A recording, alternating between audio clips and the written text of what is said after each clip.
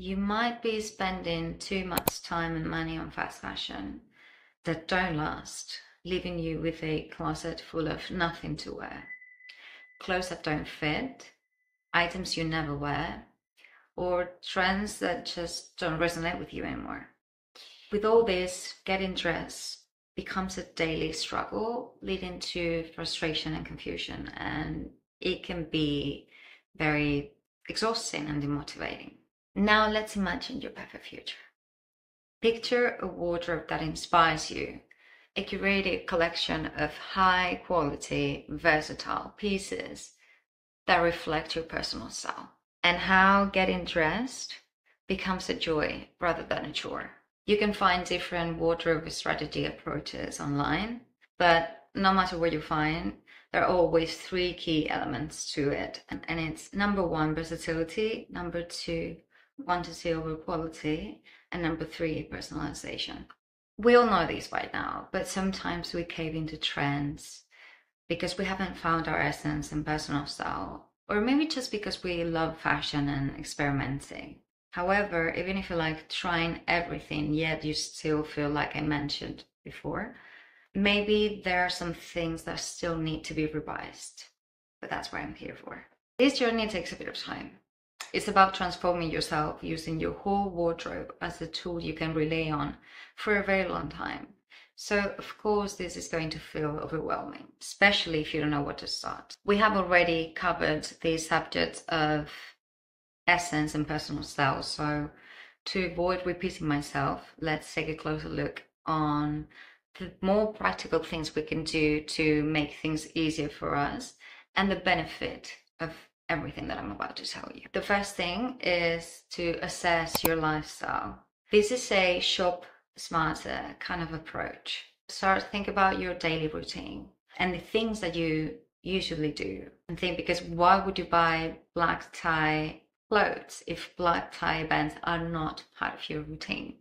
Doesn't make sense, right? And I'm saying this because we tend to splurge on pretty clothes we think we need when in reality we're not being honest with ourselves on how many times we're really going to wear them. Because of these expenses, people often neglect buying high quality items for everyday wear, when in reality, having those items covered will let you move on and focus on even more exciting items in the long run without having to constantly worrying about renewing your staples. And also, and there's something very interesting of how wearing high quality on the daily will boost your self-esteem. So that's something to think about. If you manage to control yourself and wait and invest in good quality in the long run, you will see how everything pays out because of the longevity of the clothes and feeling special because you do feel special when you wear something that has cost you more. That's just semiotics of fashion. So, mm.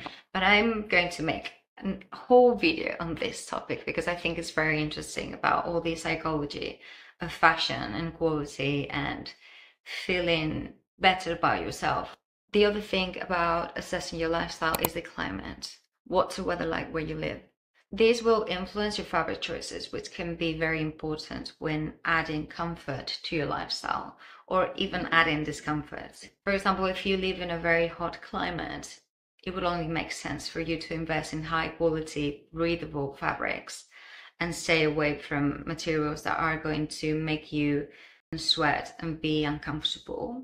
And for someone who lives in a very cold weather, the reasonable choice would be very good quality warm knits to keep you warm. The next step would be, and this is for me, I think this is the most important one, is identify gaps. See what you have and see what you need.